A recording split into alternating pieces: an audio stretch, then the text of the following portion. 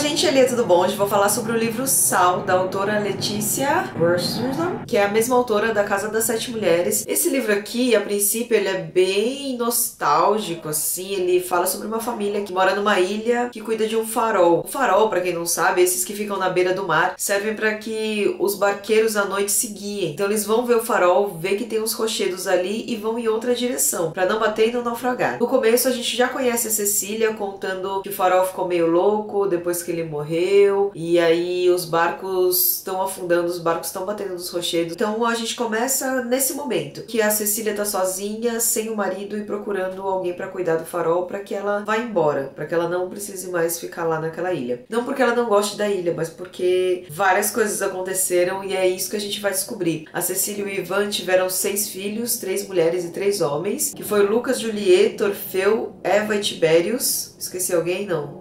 A gente vai conhecer a história da Cecília e do Ivan, desde quando eles eram adolescentes, se conheceram e a família era contra e acabaram se, casa se casando, até depois que os seis filhos da Cecília acabaram saindo da ilha, cada um com seu motivo, e a Cecília tá sozinha esperando que um deles retorne. É um livro que parece que passou muito tempo, porque a gente acaba conhecendo sobre a história, sobre gerações dessa família, e isso é muito interessante, assim. É uma leitura que me deixou muito envolvida. Tá vendo a lombada, que é toda colorida? Essa lombada tem muito significado na história. Cada cor representa um personagem. Isso na cabeça da Cecília, porque a Cecília tá tricotando e cada linha desse tricô ela dedica a um personagem da vida dela, um filho ou um parente. Não é só a Cecília que conta a história aqui. Quem conta a história aqui é a Flora, ou tá escrito assim, verde, ao invés do nome da pessoa, tá o nome da cor que a Cecília tricotou para o personagem. Tem aqui o nome da Flora porque a Flora era a escritora da família. Um dia ela decidiu escrever um livro para contar a história da família dela. Tinha muita coisa assim para contar, afinal a família são de seis irmãos, fora a história anterior da Cecília e do Ivan. A Flora está escrevendo esse livro, ela é escritora, ela é sensível. Ela tem uma irmã gêmea chamada Eva, que ela diz que é mais bonita, que ela é mais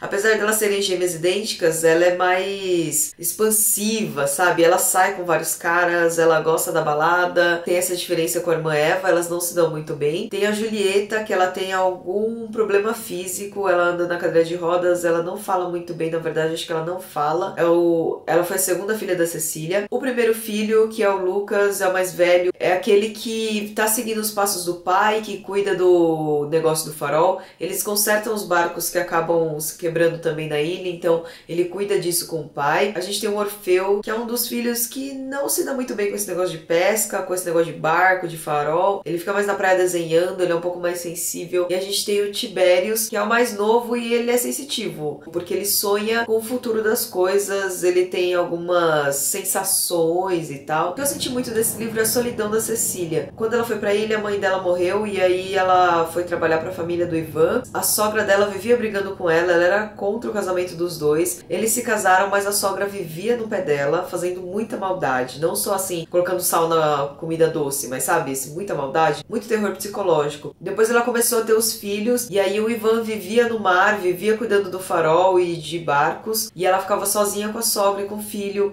Ela foi criando seis filhos sem a companhia do marido, com alguém que só queria fazer o mal para ela dentro de casa, e depois disso ela foi vendo que os filhos foram se distanciando, que cada um queria uma coisa da vida. O que eu achei interessante é que é a história do esvaziamento dessa família, né? Da, cada um foi para um lado. Mas não que esse fosse o objetivo deles. Nenhum dos seis filhos tem essa ideia de querer sair porque é uma ilha pequena e deserta e a cidade mais próxima tem que ir de barco. Eles saem porque eles brigam, porque tem uma coisa muito louca que acontece aqui. Começa a escrever um livro, Tiberius fala para ela que é meio ruim ela escrever esse livro porque ele diz que o que ela escrevia acontecia mais ou menos isso. Que ela estava meio que escrevendo uma tragédia e aí aconteceu uma coisa ruim. Mas a Flora não conseguia parar de escrever e ela acaba escrevendo esse livro. Esse livreiro manda uma cópia do livro para um sobrinho dele. O sobrinho dele vem para a cidade para conhecer a Flora e aí o negócio fica muito louco. Isso também não faz parte da história principal. Não, a história principal é a história da família, sabe? É a história da família com esse farol. A gente fica muito nesse clima dessa ilha, que é muito úmido e a gente sempre ouve o barulho do mar e fica aquela luz do farol passando na janela. Eu acho que a autora, assim, fez com que a gente entrasse realmente nesse universo. Por enquanto, acho que foi o melhor livro que eu li em 2016. Se não for,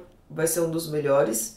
E é isso, gente. Recomendo muito a leitura. Ela é super rápida também, porque até porque você não consegue parar de ler. Se alguém já leu, pode deixar aqui nos comentários as suas impressões pra gente discutir. E é isso. Espero que vocês tenham gostado. Se inscrevam no meu canal, dê um curtir e até o próximo vídeo.